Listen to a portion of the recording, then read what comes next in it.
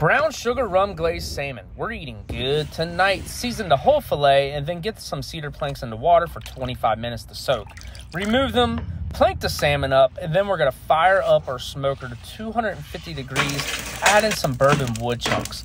Once we get the smoker set up, we're gonna add the salmon, checking in 25 minutes later. They are looking great. Time to make our brown sugar rum glaze. The full recipe is on my website. Link is in the bio.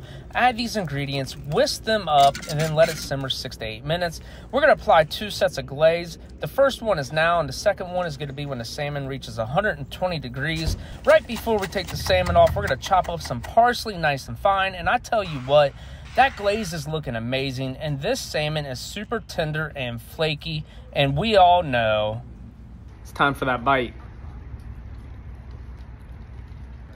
Absolutely money.